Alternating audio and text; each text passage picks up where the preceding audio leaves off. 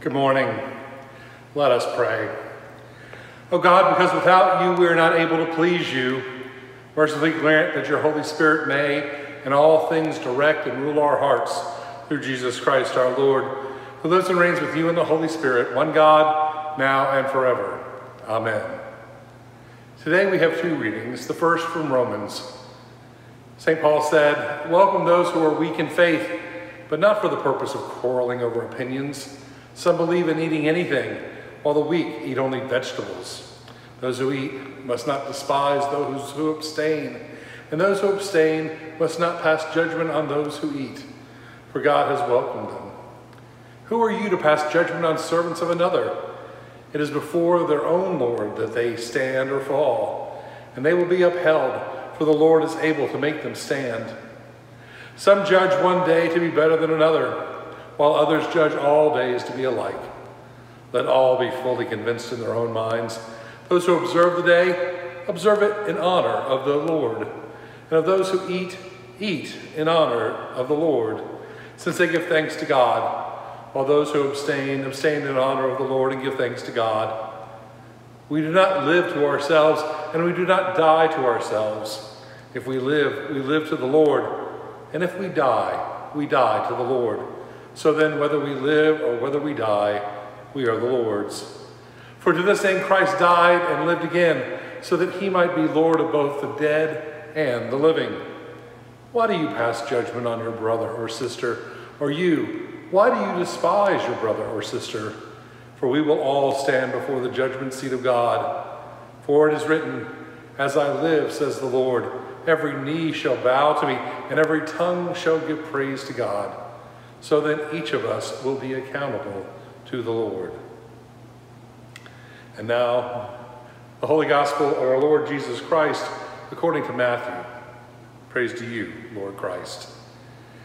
Peter came and said to Jesus, Lord, if a member of the church sins against me, how often should I forgive? As many as seven times? And Jesus said to him, Not seven times, but I tell you, 77 times. For this reason, the kingdom of heaven may be compared to a king who wished to settle accounts with his slaves.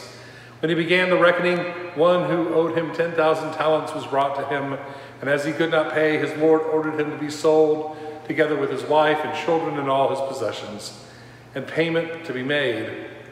So the slave fell on his knees before him, saying, Have patience with me, and I will pay you everything. And out of pity for him, the Lord of that slave released him and forgave him the debt. But that same slave, as he went out, came upon one of his fellow slaves who owed him a hundred denarii. And seizing him by the throat, he said, Pay what you owe. Then the fellow slave fell down and pleaded with him, Have patience with me, and I will pay you. But he refused then. He went and threw him into prison until he would pay the debt. When his fellow slaves saw what had happened, they were greatly distressed and they went and reported to their Lord all that had taken place. Then the Lord summoned him and said, You wicked slave, I forgave you all that debt because you pleaded with me. Should you not have had mercy on your fellow slave as I had mercy on you? And in anger, his Lord handed him over to be tortured until he would pay his entire debt. So my heavenly Father will also do to every one of you if you do not forgive your brother or sister from your heart the gospel of the Lord. Praise to you, Lord Christ. Good morning, friends. Today we start with one of the hardest teachings of Jesus. Matthew puts it this way Peter came and said to Jesus, Lord, if another member of the church sins against me, how often should I forgive? As many as seven times? And Jesus said to him, Not seven times, but I tell you, 77 times. Now, in the Jewish mind, forgiveness took a few things. Number one, recognition that a wrong had been committed. Number two, a ceasing of the sin or transgression and to make a promise to never do it again. And three, to ask for forgiveness. And it should be sincerely given up to three times. The bigger the sin, the more the need for forgiveness. Three times for something really bad. So, what does Peter do? He doubles the expectation and adds one just to be safe. He wanted to look good in front of Jesus. I'll see your three and then raise you four more. Ah. But then Jesus gets into the complicated math. The New Revised Standard Version translation, the one we read from, says 77, while most translators say 70 times 7. Either way, there's a lot of forgiving going on. Forgiving without end, math, either way, that most who heard could not even imagine. 70 times 7?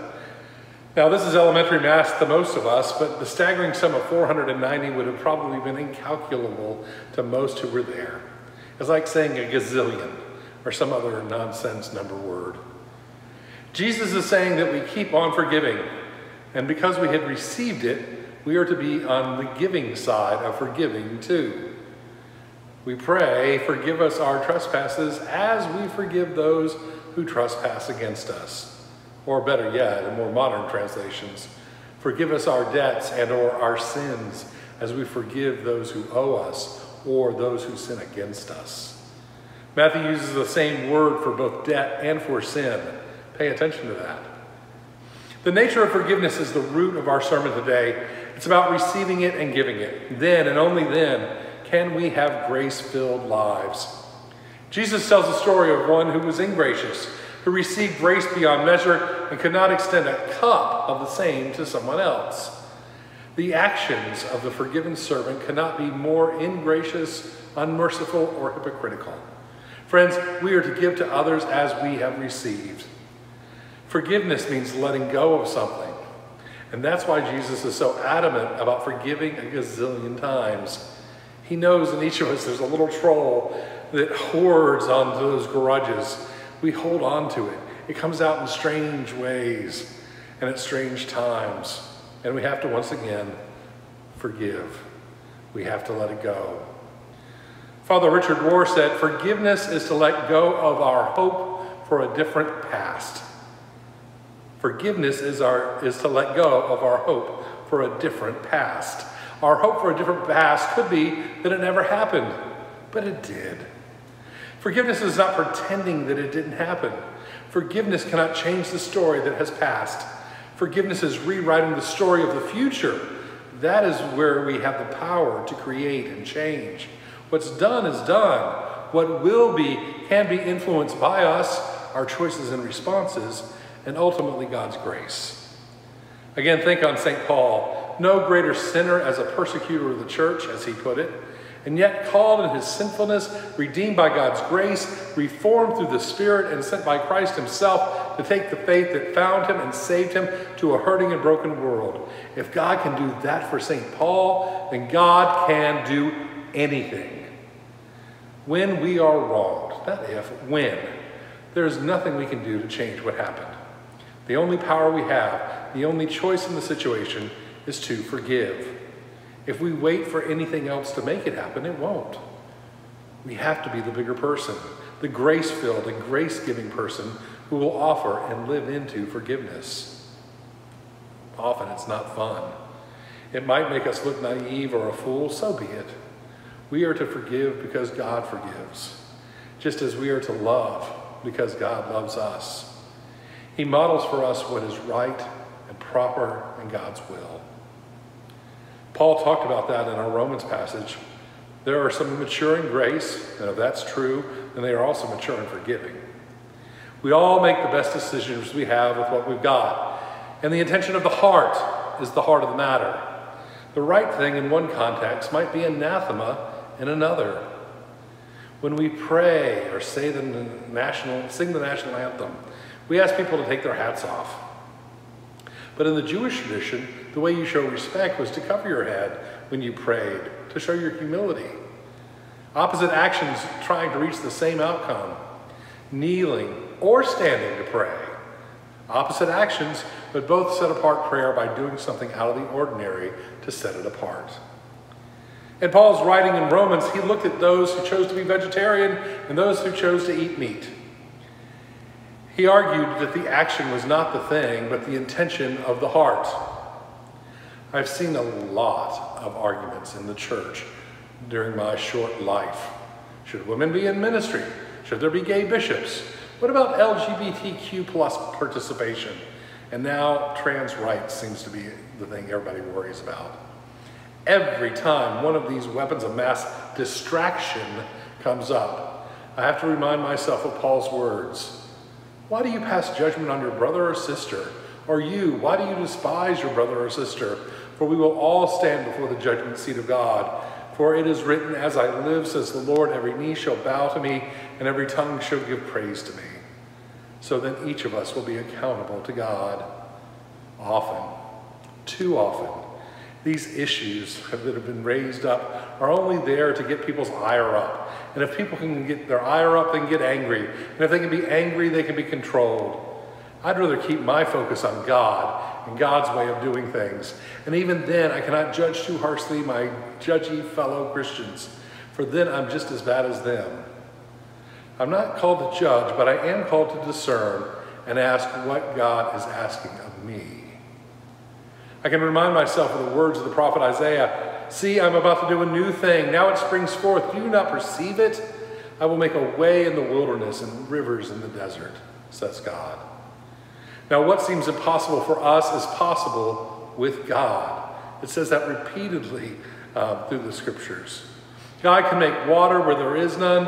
God can make things that we cannot fathom be real. God can put forgiveness and change in our hearts when we are hardened and unforgiving. Thanks be to God. Now, you probably have heard some of the story that led me and my wife into the Episcopal Church. There was a guy who made it his mission to get me gone out of the ministry. And I'll never know for sure why, but I have my guesses. Whatever the reason, he did what he could to make sure I was not only fired, but he also was there to besmudge my character so that I would never work in a church again. He was a fellow pastor, and I trusted him. Long story short, he didn't win, but the damage done meant that neither could I stay where I was. Mine was a Pyrrhic victory. And I had a lot of questions about polity, power, and protocol that happened, that allowed that situation to happen. But more importantly, this was a guy that life in Richmond meant that I would keep bumping into for years to come, repeatedly. I remember the first time I slunk away, not wanting a confrontation, and just still hurting. But the second and third time, it got a little better, but it was still the same. But as the years went on, it came that he avoided me. When I would see him, he would not make eye contact with me. In the years since, I've come to pray for him and his healing. Forgiveness took a long time, not three times, not seven times, probably 77 times or more. Forgiveness was letting go of the story I had written that he had derailed. Forgiveness was letting go of the pain that I felt. Hating him did nothing except feed my pain. Forgiveness meant seeing him as a flawed sinner, just as I am and was, and as each and every one of us is. We are flawed sinners that can be saved by grace if we let it. God may give me a chance to bump into him one day, and I hope I can finally honestly look him in the eye and say, I forgive you. God can make all things new, even our mess ups, even our sins, even our broken relationships. Every single thing can be redeemed by God's grace. God's desires all to come to God and is breaking down those barriers and walls that we build to keep that from happening. If God's intent is for us to live in graciousness, love, and forgiveness, how can we get in anyone's way to the path? In Jesus' parable, the ungracious servant is the one who is condemned. Let that stay with you. When we withhold forgiveness, when we keep up, keep up barriers and parameters that are about our comfort, not someone else's safety, when we are not like Christ who forgave sinners and welcomed them into paradise, even on the cross? Are we like Christ or are we like the ungracious servant in the parable? Think about it this way. If we err on the side of being too gracious, God has to forgive us because we're only trying to be like God. Amen. God bless you today, and we hope to see you soon. Amen.